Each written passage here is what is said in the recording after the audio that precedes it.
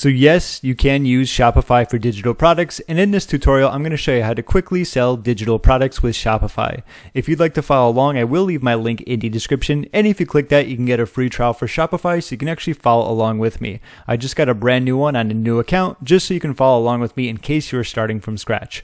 Let's begin. So the first thing what you want to do here is create a product very quickly. So we have products on the left, and what we're going to do is click on Add Product right here. So I'm just going to put in like the bare bones basics here. This is going to be the title of your ebook, whatever that's going to be. You know, you'd want to put that in there. We have a description to make it enticing as well. Make sure obviously someone reads that and they're like, yeah, this is definitely for me. A lot of great benefits and so on and so forth.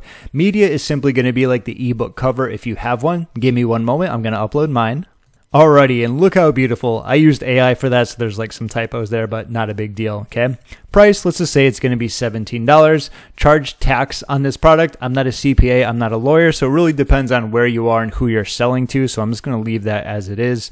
Probably don't have to track inventory, excuse me, quantity on this one, and it's not a physical product, so we can uncheck that no variants. Like we don't have different sizes of ebooks. It's all just going to be one, right? Genre, target audience. That looks pretty good. And I think we're just going to stick with that. So let's click on save. All right, great. So now what we want to do is click on the add apps right here and click on Shopify App Store at the bottom. All right, and so what you want to type in here just to make it easiest is EDP because we're going to be getting EDP, which is short for Easy Digital Products. Let's click on that. And here's going to be just kind of like a tutorial of it. So this is what I'm going to be showing you. Notice how it says in two clicks, and they are pretty much correct. This is probably one of the easiest apps I have found when it comes to selling digital products on Shopify. Nevertheless, I will show you. Let's click on install first right here. You can also do view demo store if you want as well. All right, so it's going to just say that it needs needs access to a few things here. If you agree with that, simply click on the install button. All right, and so here we are. There is going to be a special offer in case you want to upgrade because their upgraded version gives you a few more perks. So uh, you can create your first digital product or variant in a few clicks. I'm going to show you. So let's click right here, create digital product slash variant. Now remember we gave it a title. In my example in this tutorial, I just called it ebook. So whatever the title of your digital product is going to be, simply type that in and click on search and it should show up right there perfectly. We have our ebook here and simply click on pick product for the one that you created.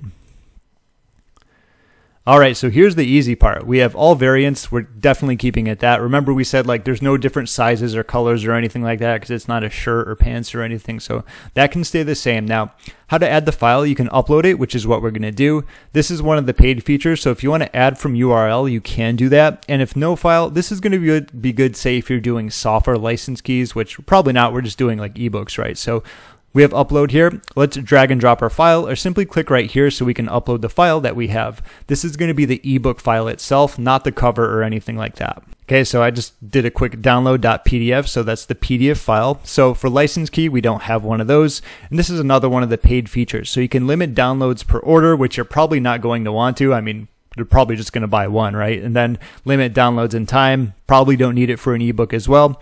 We also have short description text, which is optional. So it says write a short text that will appear next to the download button. Now I'm going to click on see example right here just so you can see what it looks like. So this is going to be the test just to kind of showcase it when someone goes in, they add it to their cart and they purchase it, it's going to show up as like they just spent, say, $32 here, and there's going to be a download button. This is going to be the difference here. So you could also say like something in that text, like, you know, click the download button to access, get instant access right now. So that's what makes it different in, in terms of using this app. Normally with Shopify, say you're sending out a physical product, but with this, given the fact it's an ebook, they can download it right now, which is going to be perfect. So that's what it's going to look like. That's kind of like the demo of it. So let's click OK just so you know and do upload and save.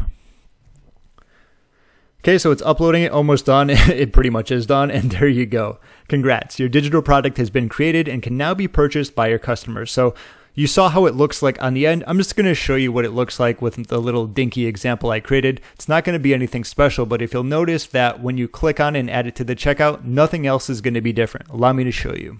All right, so there we are. We have our ebook here. I'm just going to hover over and click on the eyeball right here like I said, there's my fantastic ebook cover that I used with um, ChatGPT. So I'm just going to add to cart for this.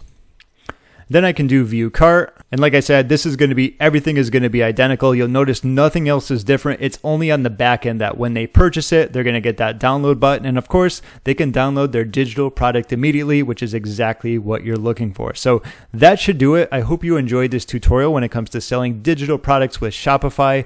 If you have any questions, feel free to leave a comment down below. And of course, if you haven't gotten to test out Shopify, I will leave my link in the description. And if you click that, you can get a free trial for Shopify to kind of follow along and do this on your own when you're selling your own digital products. My name is James. Thank you so much for watching, and I will see you in my next video.